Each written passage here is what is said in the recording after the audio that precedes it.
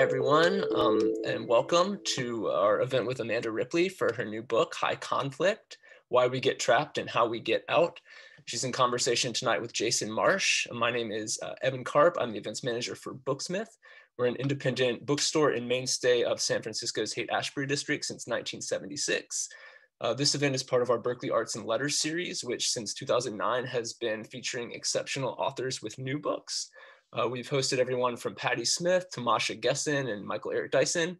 Um, tonight's event is a, a collaboration and co is co-presented by the Greater Good Science Center at UC Berkeley. Always happy to, uh, to work with uh, the Greater Good Science Center and um, uh, hope that you've joined us for some of our previous events, which have, have all been truly excellent. Um, so uh, without further ado, tonight's stars. Jason Marsh is the executive director of UC Berkeley's Greater Good Science Center and the founding editor in chief of the center's award winning online magazine, Greater Good. Amanda Ripley is the New York Times bestselling author of The Smartest Kids in the World and The Unthinkable. She writes for The Atlantic, Politico, The Washington Post, The New York Times, and The Wall Street Journal, among other publications. Amanda, um, congratulations on the book. We're very happy to have you here with us tonight. And um, Jason, thank you for being here to lead the conversation. I'm excited to stop talking and to turn it over to you too. Um, thank you so much. Thanks so much, Evan. Really appreciate it. Um, it is always really uh, fun and a privilege for us to co-host events with Booksmith and Berkeley Arts and Letters. So thanks for being such great partners. Um, thanks to our team as well at the Greater Good Science Center, especially Katie Mazzari for all the work behind the scenes to organize events like this. Um, and especially thank you uh, to all of you. I know we've had um, a good size uh, turnout, I think around 1,200 or so folks who are planning to join us this evening, which we're really excited about. And hope you're all uh, healthy and well wherever you are uh, around the country and really pleased and grateful that you could join us this evening. Um, and uh, huge thanks to Amanda Ripley for joining us as well. We've been big fans of Amanda's work for a while. I've been really eagerly anticipating the release of High Conflict, really excited uh, about the book. Um, and it really resonates with a lot of our work at the Greater Good Science Center. We have a, an initiative we've been running for a couple of years on bridging differences, exploring how to foster constructive dialogue and understanding, uh, drawing on best practices from science and from programs to really foster uh, more constructive engagement across lines of difference between groups. Um, and I think moving forward, as we explain that initiative to people and try to help them understand what it's all about. Um, my job got a lot easier because I can essentially now just tell them to read High Conflict. Um, it really captures so much of, I think, what we're uh, trying to do through that initiative, through our work at the center in general. Uh, it really speaks to the intense social and political polarization um, that are really gripping our country, but it also, I think, offers these really wise and timeless lessons for navigating conflict that are helpful at any time, you know, across human history, really. Um, many of us in our lives have faced, you know, kinds of, of deep interpersonal challenges um, that are really hard to get out of. And I think uh, Amanda's book does an amazing job of shedding light on why we get into those conflicts and, and also how to navigate them more constructively. So thank you, Amanda, for, for writing it and for joining us. Thank you so much, Jason. It's great to be here with all of you.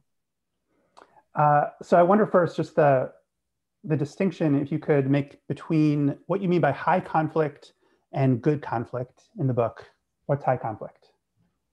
Yeah, well, I started out just on this quest to find, you know, examples of people who had been stuck in really ugly conflict and gotten out, just, you know, to find some hope. What were the patterns? Like literally step by step, not a fantasy, but real people. And I realized pretty quickly that I was asking the wrong question because it's it's really not about getting out of conflict because conflict can be really good and healthy. It's it's getting out of high conflict, right? So uh, high conflict can start small, but it becomes an us versus them kind of feud. Our brain behaves differently. Um, it becomes sort of all consuming, and high conflict takes on kind of a life of its own. Like it starts to operate on autopilot. And everything you do to get out of high conflict often makes it worse. So that's a sure sign of, of high conflict um, is is that it just it doesn't operate according to the normal rules of engagement. And it sort of doesn't go anywhere. It, there is a feeling of being stuck in high conflict being frozen and you just have the same fights over and over and over. Um, so high conflict is the destination whereas with good conflict you can still get really angry and frustrated. It, it can be intense and heated but there's a feeling that it's going somewhere. You know what i mean? And i know this sounds a little squishy but i actually think i, I have no trouble telling the difference now. Like it's it's a bright line. Uh, so so in fact like good conflict there are flashes of curiosity more questions get asked in the research this is pretty clear. Um, and people tend to leave the conflict more satisfied even if they don't agree right? So that's not actually the only goal of conflict right? So uh, good conflict i think we need much more of in the united states and around the world high conflict we need much less of yeah, and you explained there are actually some uh, helpful questions I think you offer in the book to ask yourself to help understand whether you are actually trapped in high conflict versus good conflict. I wonder if you could share some of those just to kind of tease out what are those telltale signs of high conflict so we know it when we're in it. Yeah, no, there are some questions you can ask yourself, um, which, uh, you know, I, and I say this including myself. I've definitely been there. And I think we've all either experienced high conflict or certainly witnessed it in the last few years politically, um, if not personally. So it can be it can be everything. It can be an interpersonal conflict. It can be a political conflict. It can be a professional conflict. It can be with someone you've never met, which is wild, right? But one of the questions to ask yourself is, uh, am I losing sleep over this conflict? Do I feel happy when the other person or other side suffers in some way, even if it doesn't benefit me?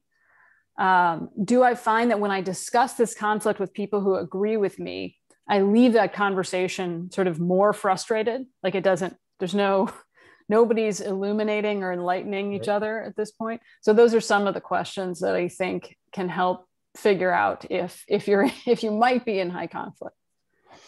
Um, yeah, and I think those are uh, as you're saying them, I'm like checking off uh, a lot of the reactions yeah. I've had, especially I think for a lot of us, you know, just uh, reading the news and engaging in any kind of, uh, you know, quasi political dialogue uh, over the last few years. Um, but, you know, I think, you know, thinking about how we consume conflict and, um, your role as a journalist. I mean, journalists are supposed to thrive on conflict, right? You, you quote an editor in the book uh, said something like, you know, all great stories involve conflict.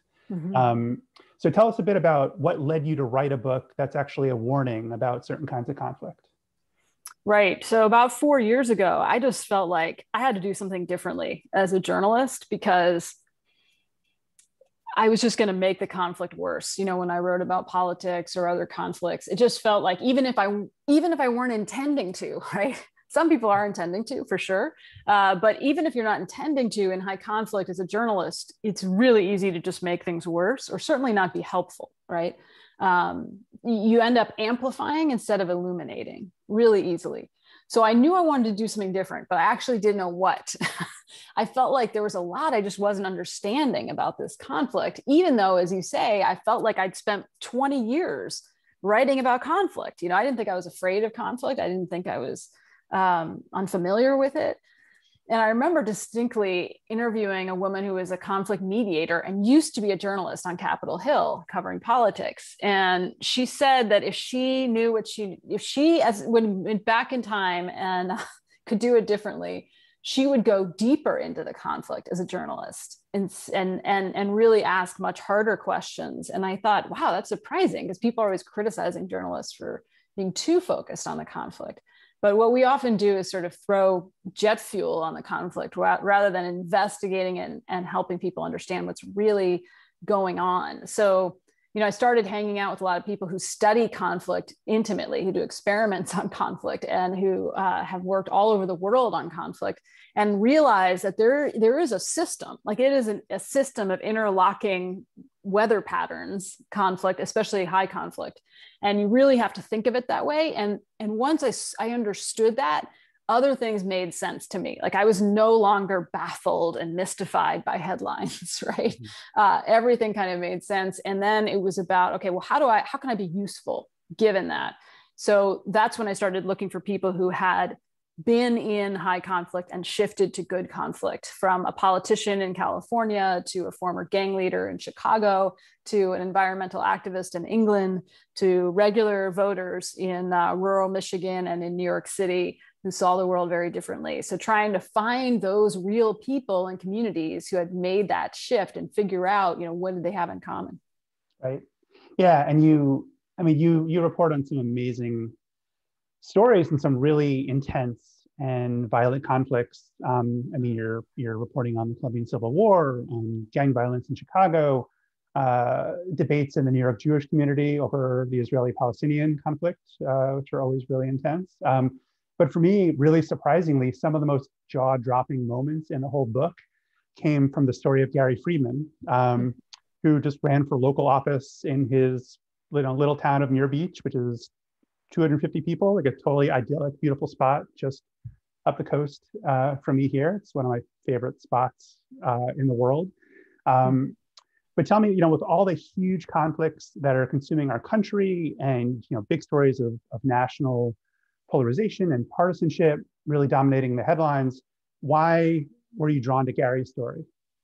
You know, the funny thing is, I got mediation training from Gary when I started working on this book, and he's a gifted trainer. He's like one of the country's leading experts in conflict. He helped invent conflict mediation, really thoughtful guy. And somewhere along the way in this training, he said that he had run for local office and it hadn't gone the way he'd expected. So I thought, huh, that's hmm. worth checking in on.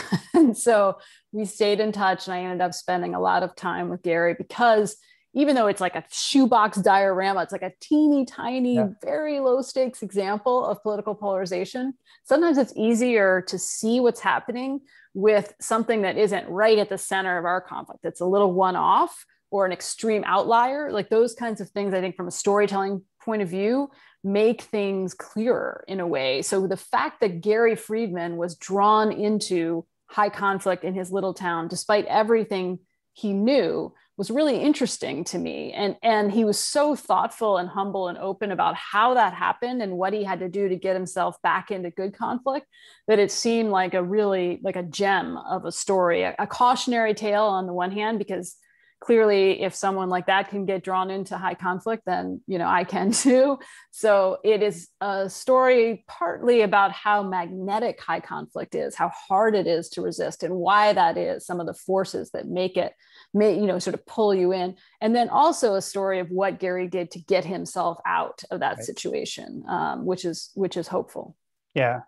Yeah we'll say a little bit more. I mean i think with gary what was telling was you know it wasn't just that he got drawn into the conflict and became a player. He became arguably in this whole story it seems like from this distance just the worst perpetrator as well right? It wasn't just that um, he wasn't able to deploy his his skills as a mediator. He actually um, does things that when you first meet him seem uh, unthinkable, really, that, you know, so, so out of character. So I wonder if you could share a little bit about um, a little bit more on his story and, and, some of what he did, and also what you feel like that says about the nature of high conflict, the way that it can actually influence our behavior and our judgment.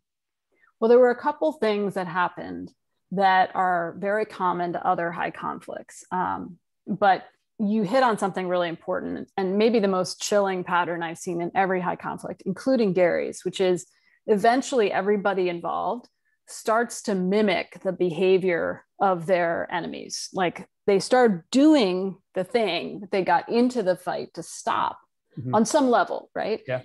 Almost always without realizing it at first. So there's something really diabolical about that paradox, that irony in, in Gary's case, he did go into politics to make it less toxic and more inclusive, beyond a doubt.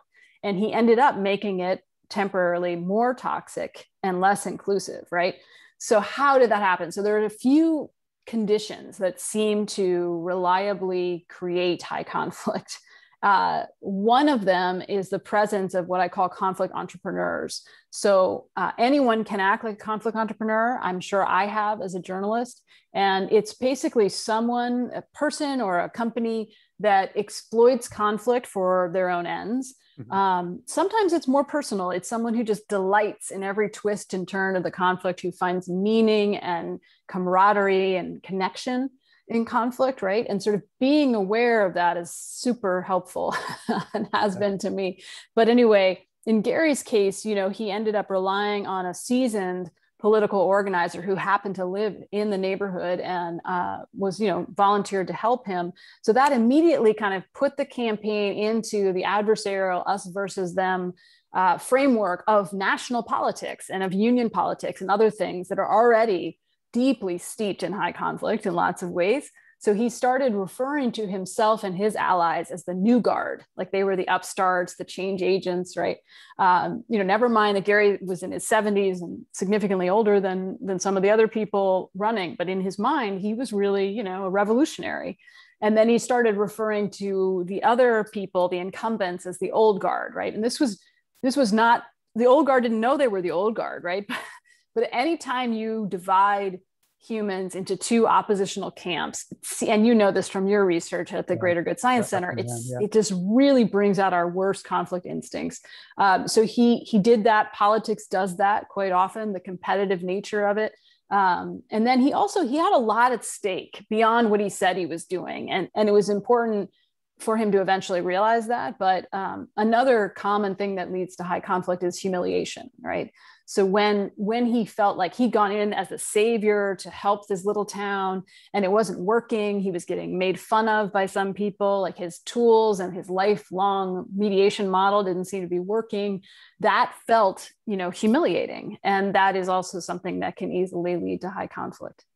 Yeah, I'd love for you to say actually a little bit more about that because reading a book about high conflict, I think you'd expect to read about emotions like anger or contempt or envy but you really zero in on humiliation consistently as a key driver of high conflict. Talk a little bit about the relationship between how humiliation actually then tends to lead to or perpetuate high conflict. Yeah, I have a whole new found respect and fascination with humiliation and how volatile it can be. Anger's good. Anger's all good. Like that is can be very um, initiatory and constructive, right? Um, contempt is a different thing, much more dangerous. But humiliation, there's a um, psychologist and physician who studies conflict and war named Evelin Lindner, and she calls humiliation the nuclear bomb of the emotions. And I think that's about right. Um, it's probably the most underappreciated explanation for what happens, you know, politically, internationally, in war, in gang violence, in prison violence. I mean, you name it, in domestic violence. It is this this force that can really turn into a poison. And what's one of the things that's so interesting about humiliation is that, like other emotions, right, it's informed partly by our society, by our norms, by the people around us, right? It, it's not really fully objective. What's humiliating? What's not? You know, I follow a, a former gang leader named Curtis Toler who experienced a really awful loss as a kid, and he saw it as humiliating Mm-hmm. But he could imagine a world in which he didn't see it that way and how differently his life might have been. Just as a quick example, during World War II, uh, guards in concentration camps would order um, prisoners to make and remake their beds until they were perfect, like a kind of harassment.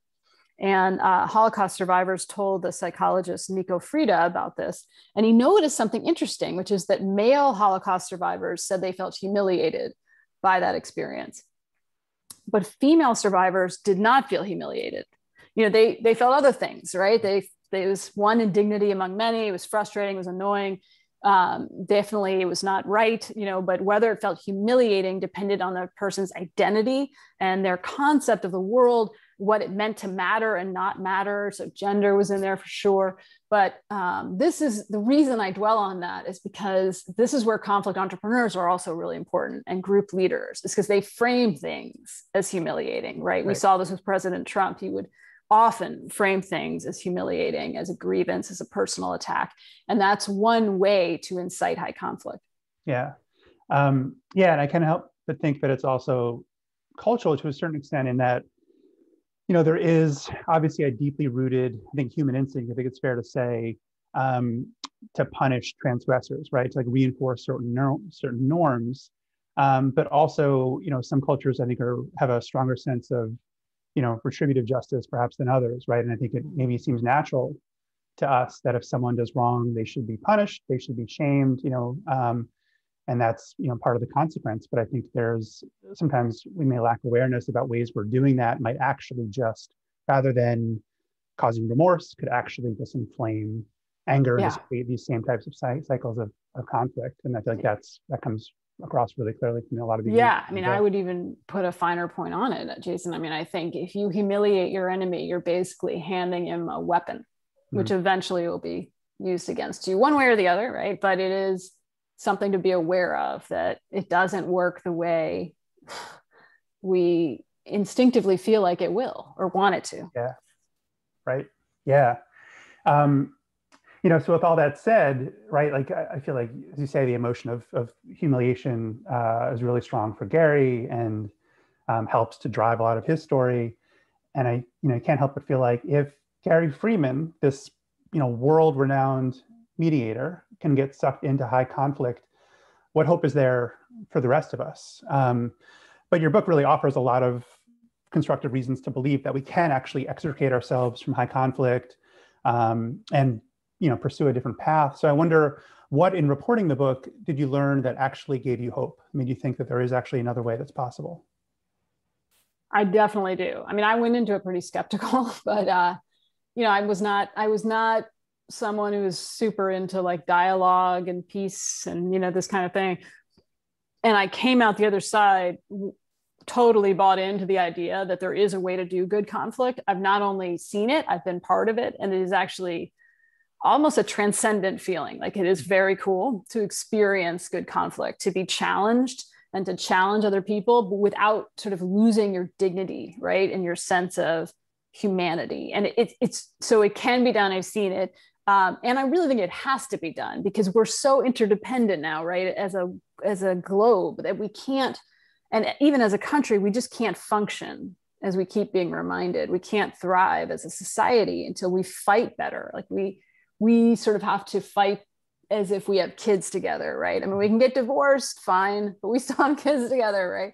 So we have to learn the skills to do that. And some of the things that Gary did was once he realized, so so the first thing he, he realized what had happened. Like he, he describes it as his personal derangement. He lost two years of his life, of his peace of mind to these petty political feuds that he would just ruminate over and lose sleep over. And, um, and what happened was he hit a saturation point, which is something to look for when you or people you care about are in high conflict. In his case, there was a sort of midterm election. He wasn't on the ballot, but his allies were. And um, it got really ugly and his ally was ousted and that meant he had no power on this little board. And the whole thing was so upsetting that it forced him to kind of take stock. It created a pause like a timeout in the conflict. And that's hugely valuable right all kinds of ways that can happen in conflict. It can be like a snowstorm or someone gets sick or someone gets killed, but there's a moment of opportunity. And this is where it's so important that the community, the people around you who aren't themselves totally stuck in the conflict, have to help you see that you've reached the saturation point, which is what Gary's family did for him. They told him repeatedly that they felt like, you know, they'd lost him. And eventually he realized what had happened. He distanced himself from the political organizer. He started relying much more on his wife for political advice, actually, because she really saw the neighbors as full three dimensional, uh, complicated people. She knew them very well and liked them. And so that was important. And he also started to um, drop those binary categories, even in his own head about the old guard and the new yeah. guard, right? So that was important. Yeah. Um, you know, there is there are a lot of lessons actually, uh, which I appreciate uh, you point out in the book where, you know, if you are find yourself in a situation like Gary, the ways that you can actually identify and possibly help get yourself out of or help other people get you out of those conflicts. And along those lines, you know, I never in a book about conflict, I never thought that I would read so much about crockpots. um, yeah. But uh, you know, it is a is a recurring uh, motif in the book. So so tell us about the significance of, of crockpots, you know, in the context of the book and of context of like recognizing getting out of high conflict? Yeah. So as a storyteller, for me, one of the most fascinating things is to realize that most conflicts are not what they seem to be about. They're not, they're about that, but also about something else, which I call the understory, which is the thing underneath the conflict that nobody's talking about. Mm-hmm. And that's really interesting if you can get to it. So, for an example, you know, I talk about a couple who was, you know, going to war over who was going to get the crock pot as they divvied up their possessions in a divorce. And by the way, every divorce attorney and mediator has a story like this. And, you know, what is the deal with the crock pot? I mean, they could have bought 20 crock pots, 200 crock pots with the amount they were paying their lawyers. So, eventually, if you ask the right questions, you can get out of that talk track nightmare and find out that you know the wife when she was a kid growing up her parents would always have like a pot roast or something going every sunday in the crock pot and you could smell it all through the house. And it was like something to her that felt like like a good home.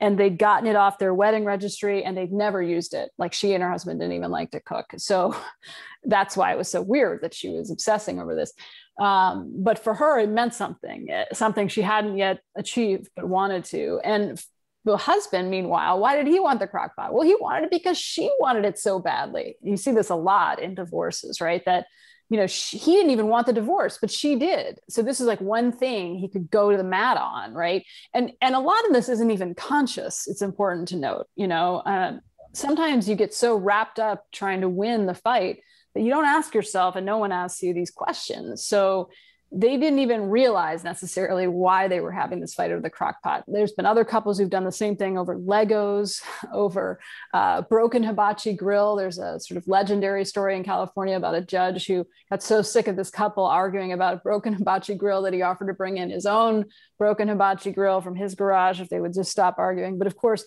it wasn't really about the yeah. it wasn't really about the grill. Yeah, um, so I wonder, you know, in hearing all of those stories um, and taking some of those lessons, like what's been the biggest takeaway from your reporting for you personally? Like what's a skill that you've been using in your personal life as a result of writing the book? For sure, uh, this book has changed me in many ways, personally and professionally.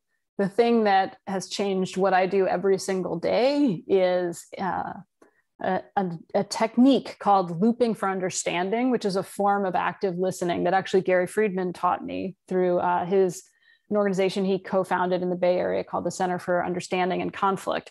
And I went into this training thinking, you know, I know how to listen. I mean, I'm, you know, I professionally interview people for many years. And it turned out, you know, acting like you're listening and nodding like I am right now and smiling and going, hmm, I hear you. That is not listening. And people can tell the difference. And uh, what I learned how to do is this thing called looping. And there's other forms of it that people may have uh, be familiar with. But in this case, it means you really listen to the person and you try to distill what they're saying into the most elegant language you can muster. So you don't literally need to repeat it verbatim, but you're really trying to get what is the crux of what's important to them, not to me, right? Which is very different for how most journalists go into conversations. I think it's fair to say. And uh, and then this is important. I used to forget this in the beginning. You have to check if you got it right. You have to say, so it sounds like you feel like this crock pot is like really important to your idea of what a happy home looks like. Is that right? Like really ask with curiosity. Curiosity is like the key to the kingdom, but it has to be genuine, right? And what you notice is that as soon as you do this, even if you get it wrong, you know, people will correct you and you keep getting deeper and deeper. People just like their whole expression and posture changes. Even if I'm, it's not that emotional of an interview, right? If I'm interviewing an academic or something, they're just right. so grateful to feel like you're really trying to get them. And it's it's poignant because it reveals how rarely it actually happens. But there's a ton of cool research on this. And as soon as people feel heard, they open up. They say more nuanced, complicated things, uh, less exaggerated and, uh, you know, sort of extreme things. And they're more likely to take in information they don't want to hear. So it's, it's like this really key prerequisite to getting to good conflict. Yeah. I mean, in, in reading your descriptions uh, of looping, like immediately it felt like something that I wanted to try to, you know, make more of it to, to try to do more often in my own life. And I wonder if your game, um, because, you know, reading it and trying it on my own is one thing, but to actually hear it and, and see it demonstrated by someone who's really been practiced at it, I wonder if you'd be game to do it with me. Absolutely. Yeah, that'd be fun. Yeah. Um, yeah. If you, if you, uh, wouldn't mind like you know demonstrating looping and, and perhaps doing you know the old way of listening uh, that you yeah okay cool. Yeah. So I'll, I'll ask you a question the way i used to ask. Let's i'll pretend i'm interviewing you right for a story. And and and just very quickly i'll ask you a question and i'll do it the way i probably used to do it. And then and then we'll stop and do it again with looping. And, and everyone could see like can they tell the difference and you can tell me if you feel a difference. Okay? Yeah yeah thanks. That's, that's okay so since since we're talking about conflict let's choose a conflict question. Um, so what's one of the silliest things you've ever argued about jason? Um speaking of crockpots uh, yeah, let's see. How how embarrassing do I want to get? Well, I, I, um here's here's a here's a really ridiculous story that comes to mind, um, which is um, I uh, this is a, a, long time ago. This and still remains the sore point with a friend. 15 years ago, probably. Um, I was driving with a friend, and uh, we were trying to remember the name of a song, and he um, he asked me the name of the song. I couldn't remember it. I, I swore to him I was going to, you know, give me 10 seconds. I was going to remember the song. And uh, while waiting for me, after 10 seconds, for five seconds, he said, forget it. I'm just going to call our friend Dave. And he called this, called this friend to ask him to tell the name of the song. Um, and I got so upset to the point where I was driving and I started calling the same friend with you know my other hand, which I never do. Um, I was so incensed. It was such an it felt like such an insult, um, and I rarely get very mad or yell. I was yelling uh, so much at this friend, and uh, he could not understand why I was so upset. I could not fully understand why I was so upset. It has like all the telltale signs actually of of high conflict, um, and what, I didn't get it. You didn't. You didn't get to him first. I didn't know. I didn't, didn't get to the friend first. Um, I don't think I can't even remember. Um, but the, the conflict was really about like him doing this, but then also me trying to convince him that what he did was kind of mean and insensitive over this really, really stupid, silly thing. What was the name of the song? It was Desolation Row by Bob Dylan. I can remember the name now. I could not remember the name of the song then. Yeah. Okay. And did it affect your friendship? Um, it did a little bit in the moment and for you know for maybe even days or weeks after and still we still talk about it to this day um, hmm. and yeah. where was it it was um, nearby i think we were driving i think we had been uh, kayaking in monterey bay um, okay so yeah thank you jason so that's that's how i might have had that conversation go like a couple years ago uh, you know, I'm asking where, what, when, what happened, what's what are the stakes. I'm asking what I'm interested in. Right. And actually, it's not that interesting the things I'm interested in because I'm not in your head, right? So um, let's try it one more time, and I'm gonna try. I'm gonna try looping and see how that goes. Okay. Um, so what's a silly argument that you've had, Jason? You can tell the same one. It's fine. Uh, well, um, I, I once got really upset with a friend who, uh, when I was trying to remember the name of a song, brought in this brought in another friend to give him the answer uh, preemptively. So it sounds like the fact that your friend couldn't be patient and just wait for you to figure it out and had to bring in call you know call call for help really frustrated you and it maybe yeah. felt use the word insult.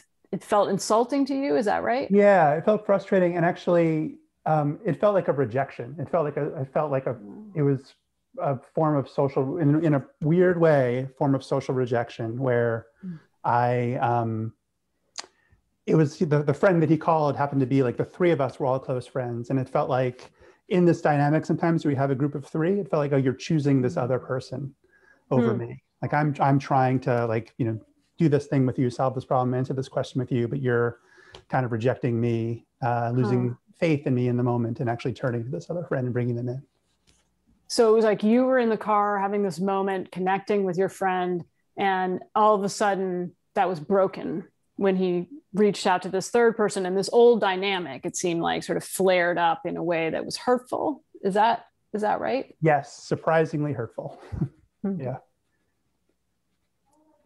okay thank you for doing that twice which i know is hard uh, um, did you notice a difference? Like, how did it feel? Yeah, yeah, no, I mean, end of that. It was in in the second case. You're you're just what you reflected back was like what my emotion was and what might have been actually driving what was kind of the understory of of the conflict right? The the first one was much more about the circumstance and things that you know an outside observer might have might have noticed or wanted to know some of those uh, sort of somewhat superficial details. And the second was much more about understanding my actual emotional reaction that might have been driving this really ridiculous conflict and making it into something that became much bigger than it needed to be. Hmm and and you use the word rejection on the second version of that yeah. conversation which i thought was really powerful and honest right? Um, and leaves you more a little more open right? To a little more vulnerable. Um, and I, I, I pointed that out because sometimes journalists will say to me well i don't have time to do this. You know we have to get the story. We need clicks whatever. And i'm like you saw that didn't actually take more time i don't think. And it's just a much more interesting story right? The second way, I think. So um, I think increasingly the older I get, you know, I interview a lot of people, and a lot of times I do these long stories, and I can't use half the people I talk to. I don't use, I don't quote them, which is kind of like crappy, you know. And I increasingly feel like the least I can do is listen to people. You know what I mean? Like really try to understand what they're saying, even if I don't agree, even if I'll never be in their shoes. I can give them that one thing. And I, I actually think that's a that's a pretty big deal. And it does lead to better, better, better content. Yeah. Yeah. yeah. I, I wonder though, I mean, you, you talk about that in the book about just ways of honoring people's um, stories and really making them feel heard. Um, but I wonder in some cases, if you get pushback, um, where hearing someone trying to understand someone could seem like legitimizing their point of view mm-hmm. when that point of view could be racist or hateful or you know or in some ways seem seem uh, violent. You know how do you respond to that type of concern or critique? Yeah i get that pushback a lot from journalists that i train on the, on these things and also internally i feel it right? So i remember interviewing a woman who um, you know she just she just was like teeing off on George Soros and this and that and all these conspiracy theories. And it was irrelevant to the story I was trying to get, whatever that was.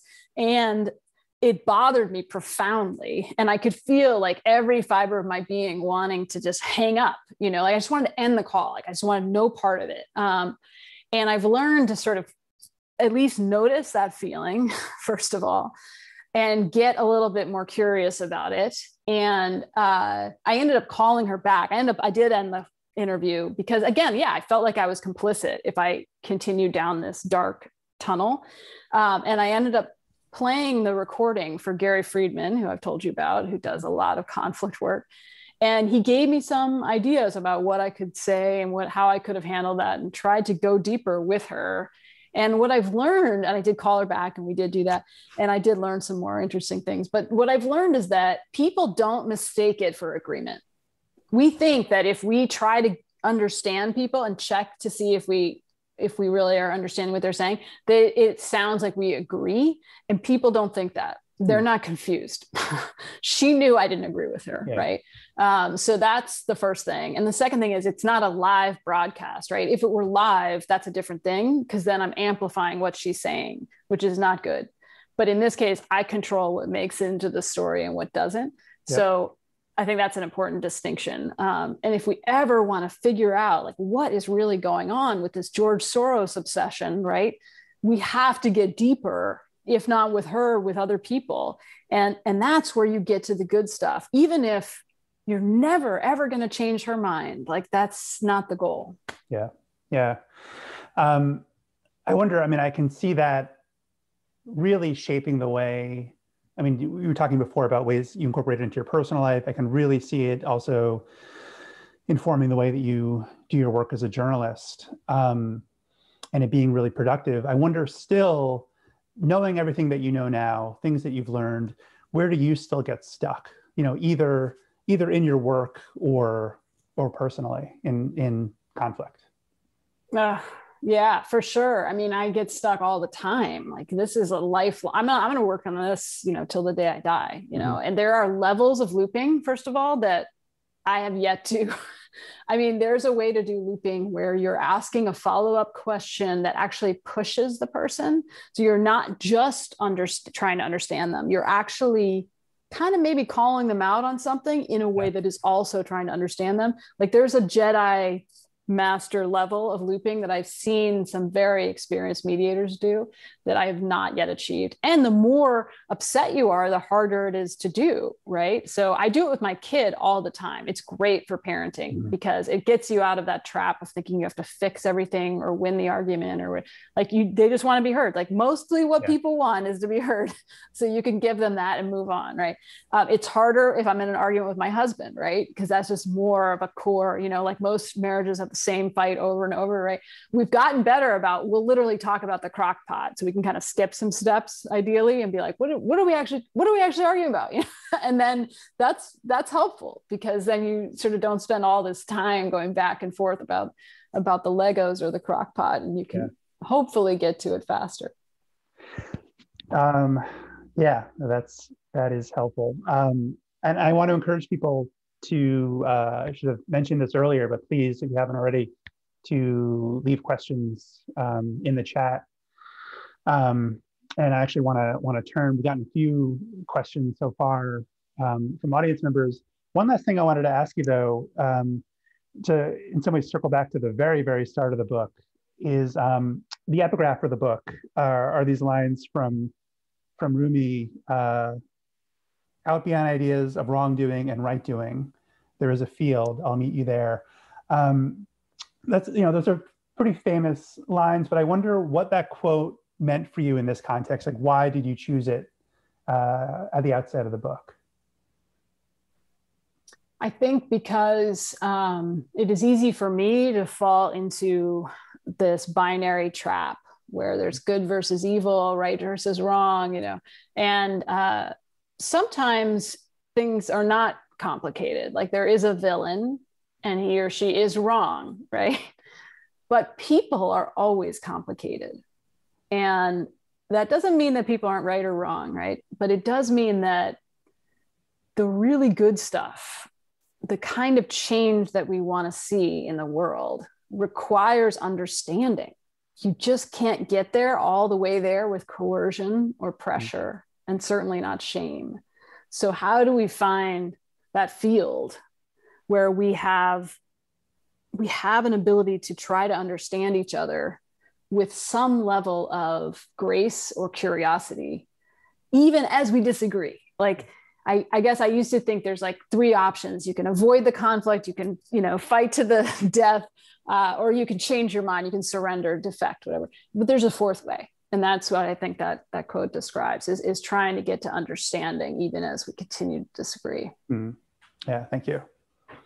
Um, well, thanks. I wanted to, to shift to audience questions now, and thanks to Evan for um, sharing a lot of the ones that have come in so far. And, and please, um, please feel free to share your questions for Amanda in the chat. Um, one I wanted to share from uh, Elon Bratt uh, about, do you have any thoughts about how to have good conflict in a situation where the person you're in conflict with has more formal and informal power and authority than you do, uh, and that part, person is not engaged in creating conditions around them for productive disagreement and they're not responding when you loop?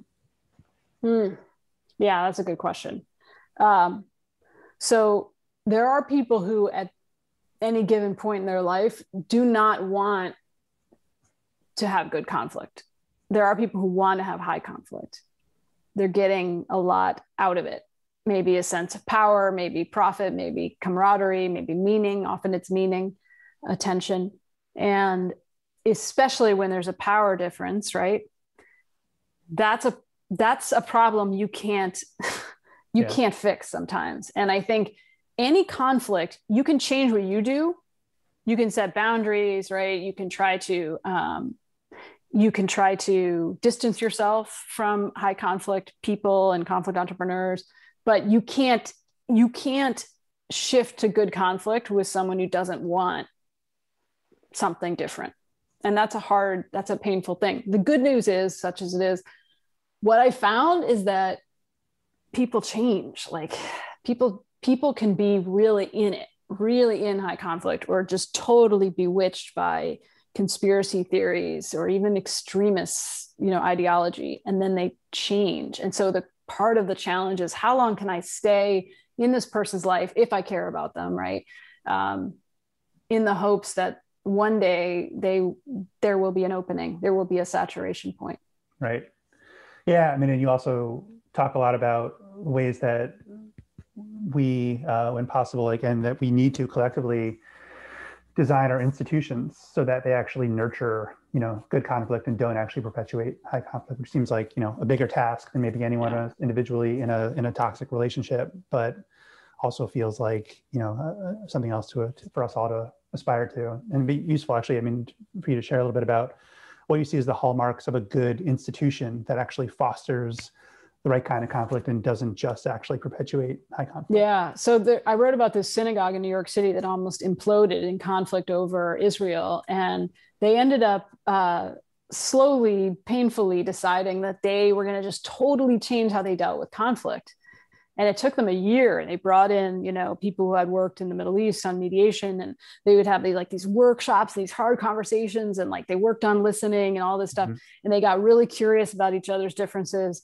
and they did shift the norms and the understanding like the level of you know sophistication around conflict so that the next time they had a big internal you know dispute which in this case was over interfaith marriage they knew what to do. They had those rituals and you know habits of mind and they found that that conflict rather than making them you know weaker as an institution made them stronger. Even though like it's not like everybody changed their mind right? Like there's still deep disagreement about interfaith marriage at the synagogue but it's it was very cool to see how that shifted and how people how surprised people were that that they could actually there was so much that they hadn't understood about each other, even as they disagreed. And just very quickly before I forget to the question about what do you do with someone who has more power and doesn't want to listen and doesn't want to loop and doesn't want good conflict, I would recommend there's a place called the High Conflict Institute. Uh, a therapist and lawyer named Bill Eddy co founded it. And he has written a bunch of books about how to deal with high conflict personalities in the workplace and in other places. Um, including when there's a power differential. They're very like, you know, user friendly tips for what to do and what to do on social media. So I would recommend that. Great, thanks. Um, and you said it's the High High High Conflict, Conflict Institute. Institute. Yeah, Got Bill it. Eddy, E D D Y. He's got a bunch of books out. Right. Um, so uh, another question, sort of related to some of these power dynamics. If from uh, this is from Arnie Patel if someone tries to humiliate you, what's a good way to respond? Hmm.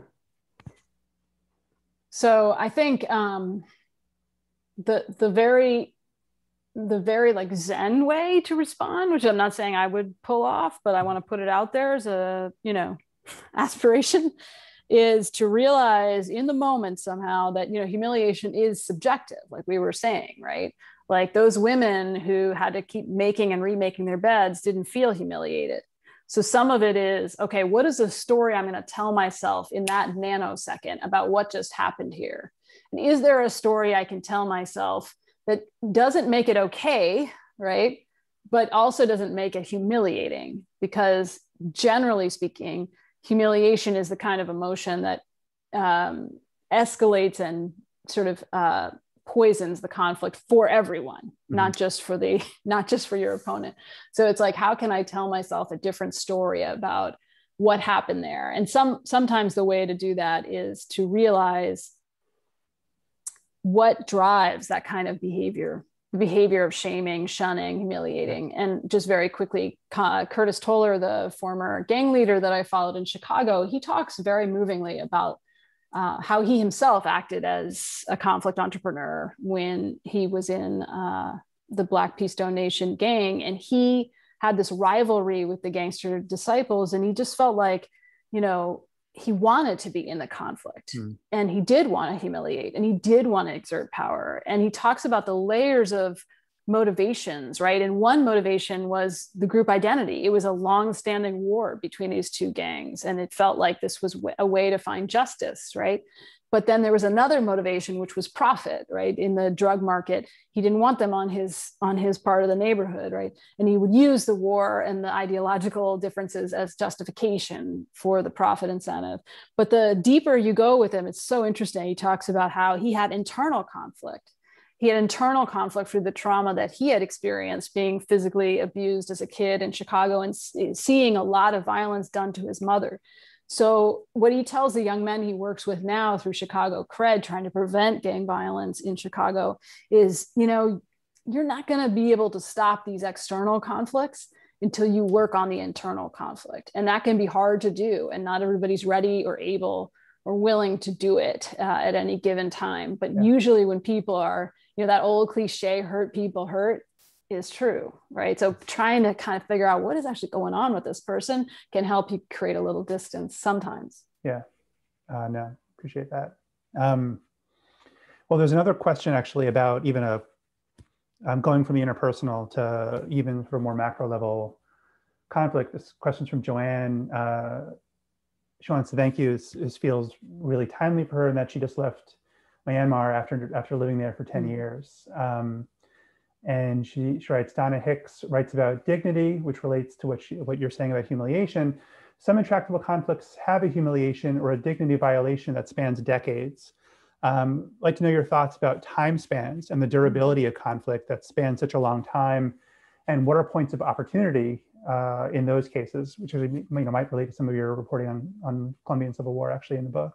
Mm-hmm. Yeah, and then that's something that comes up with with gang violence as well is it can be generational just like clan feuds in the mm-hmm. philippines mm-hmm. i mean it can go back a very long time i talk about the hatfield and the mccoy story um, as part of that in the book so yeah oftentimes like when when curtis is investigating a gang conflict the first thing he wants to know is what is the root cause? Like where did this start? And what's interesting is people often will not know. Like he'll have to do a lot of sleuthing to find out oh it goes back 20 years to when this one guy's watch was stolen off a basketball court. Now is that the no that's the crock pot right? Like that's not what it's really it's really about disrespect humiliation justice belonging. But uh, that's the narrative. That's how it sparked right? That's how it started. And so figuring out what that is. And one of the things that he still marvels about is how there's still this you know this really violent feud going on between two organizations in Chicago. It's been going on for 20 years. But the people who started those organizations are locked up in cells right next to each other at a supermax prison and they're friends, mm-hmm. right? They have no beef with each other.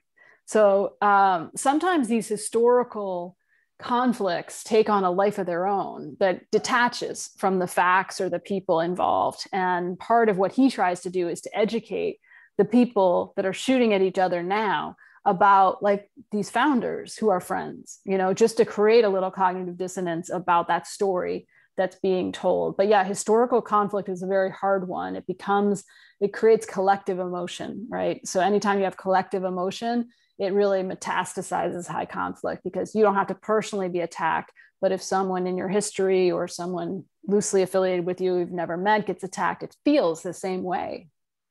Yeah um, yeah, I mean, but you actually in the book, it's, it's interesting. You talk about um, the sort of contagion that can work the other way as well. I think the Peter Coleman research that you report on and finding that complexity can be contagious. Yeah, you're right. Like there are ways that actually, um, you know, some of these uh, difficult emotions and conflicts can actually perpetuate conflict well beyond the original conflict. But also there are ways where uh, learning you know secondhand about um, other people's stories and complexity can actually help mitigate conflict too. Under actually, if you could share a little bit, and that that research uh, out of Columbia is really interesting and I think encouraging as yeah. well. You share a little bit about some of those findings.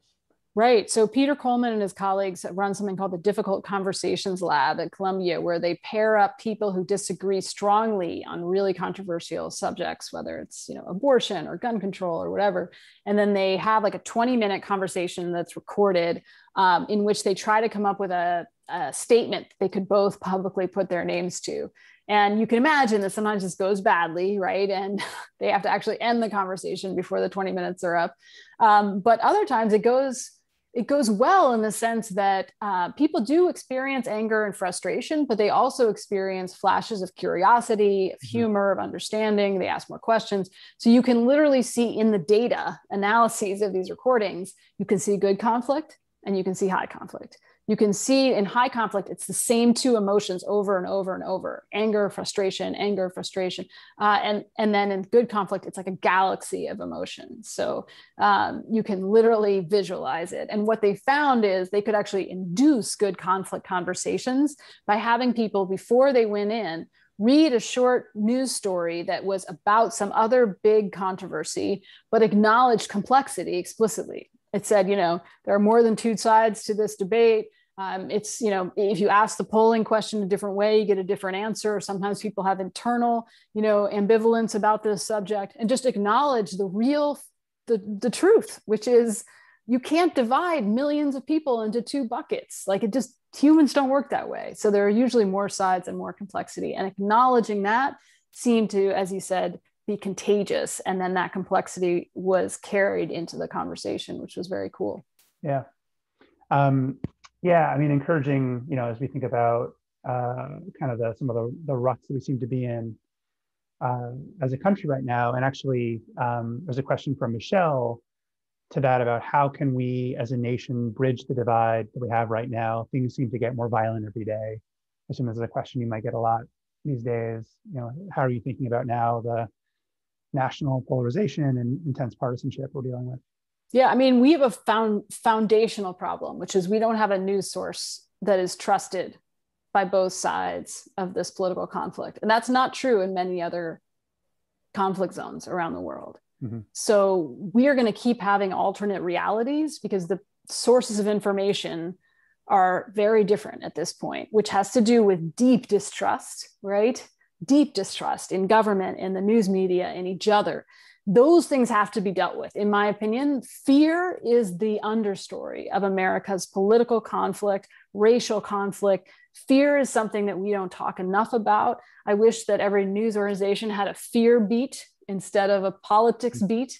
You know, that is that is what we need to start talking about. We need to get much more sophisticated in how we fight and also how we talk about the fighting, right?